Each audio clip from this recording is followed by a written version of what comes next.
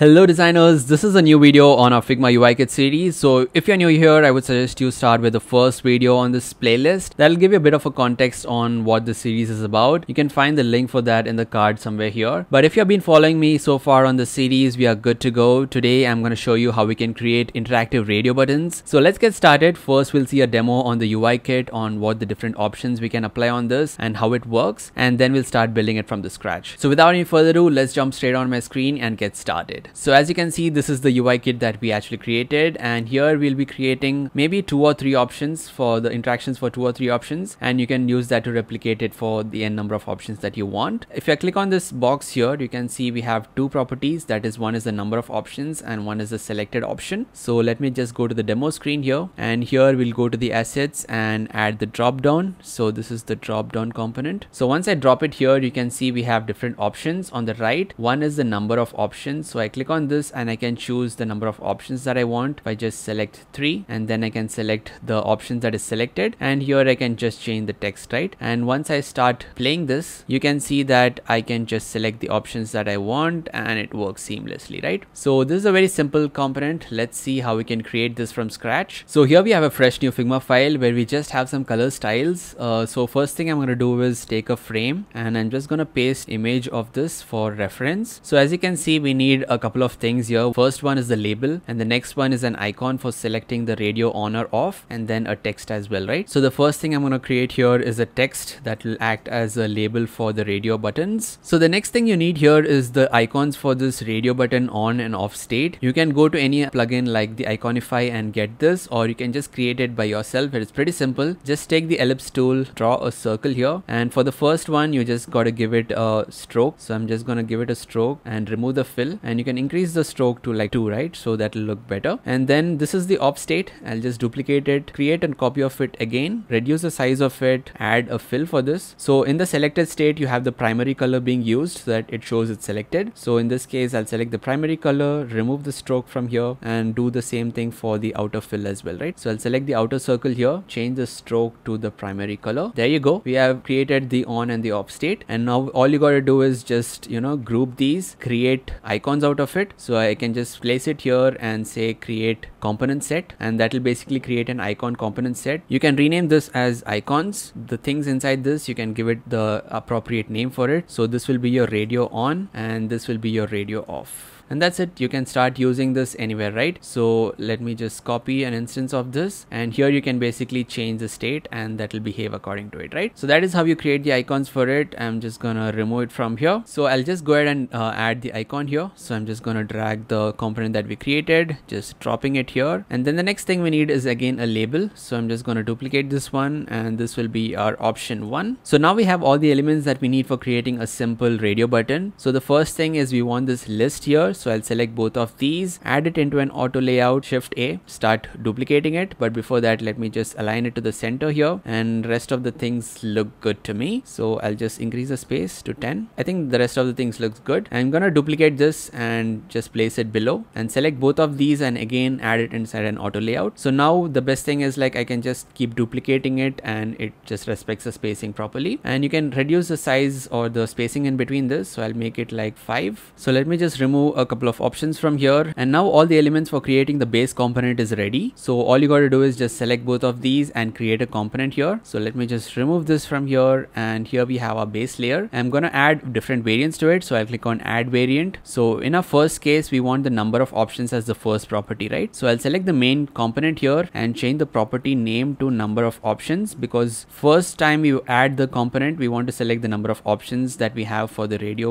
uh, button. So that will be the number of options. And and for both of these I'm going to select the number of options as 2 so we have the number of options selected and now we just have to create the different selected states for these right? So for that I'm going to add one more variant here because the first one will be unselected and the second one would be the option 1 selected and the third one would be option 2 selected right? Also let me just change the value for this one. So this will be option 2 and this is going to be option 2 and this is going to be option 2 perfect. So now we have different options ready. You just have to change the state for this. So in this case I want this this option to be selected. Before going ahead, I made a small mistake here. The unselected state would have a gray or a neutral color. This is in the primary color right now. So let's change that. So I'm just going to select the options that we see here or the best thing you can do is just select the main frame and go to the bottom. You have the selected colors here, right? So just change this primary color here to the gray that you want. So I'm just going to select the gray that I want. This one or a bit more lighter here. Yeah, this looks good. So now we have everything set properly. Now we just have to set the selected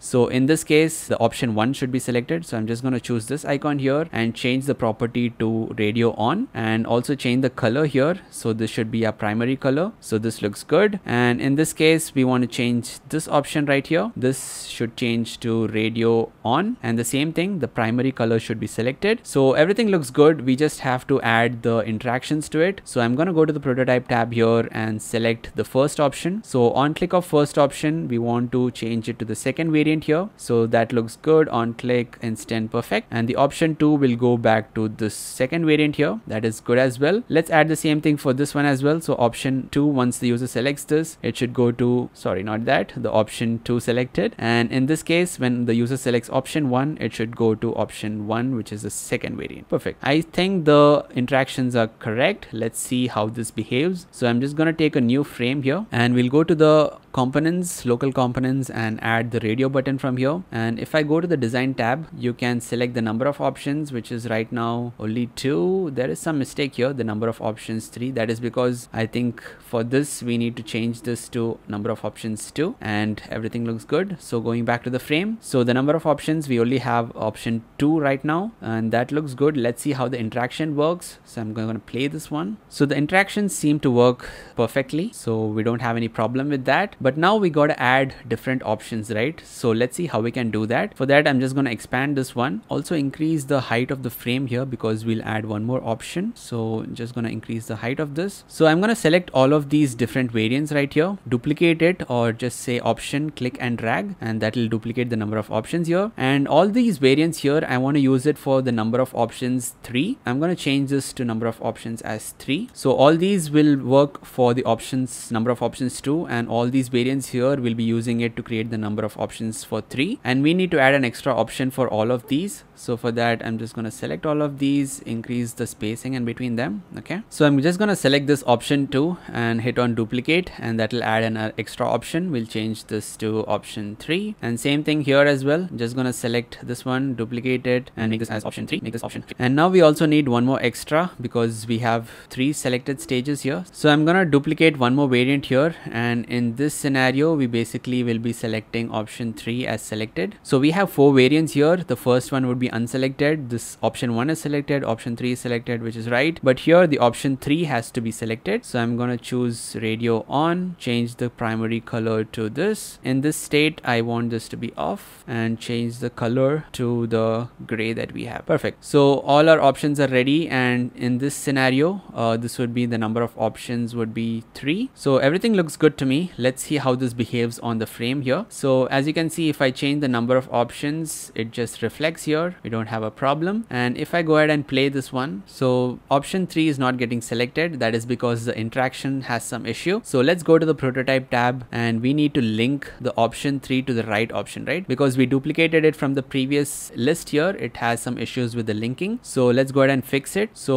let's start from the first one. So if I select option 3 here has to go to the last selected stage that is right. And in this case if I select option 3 it has again go to the last variant here. And the same thing with this as well. If I select option 3 it has to go here. The uh, rest of the things I think it's perfect. We don't have to worry about it. So let's go back to our preview. Everything seems to work fine. Option 2 is not working. So there should be an option issue here. So this option doesn't have any linking. So I'm gonna select this and select the option. Sorry not this. Option 2 selected. And now I hope everything should work fine. Yes so everything is working fine. We can select any option that we want right? So we are done with most of it. Uh, all we got to do is have an option where the user can select the selected state from here as well. So if you want the user to show a pre-selected value here we don't have an option. So for that we're going to add a new property to our main uh, interactive component here. So just go ahead and add a new property a new variant and call this selected option. So this will determine which is the selected option. So initially we want this to be zero where nothing is selected. So i'll create the property property. Right now everything is set to default 0. So if I click this variant, uh, the selected option is 0. So in this case, the selected option should be 1. So I'll just edit this and add 1 and this should be selected as 2. Okay. And in this case, the selected option is 0 which is perfect and in this case, the selected option should be 1 and in this case, the selected option should be 2 and in this case, we don't have it. So we'll just have to edit this and add option 3. So now we can basically change uh, the selected option from the design itself. So if I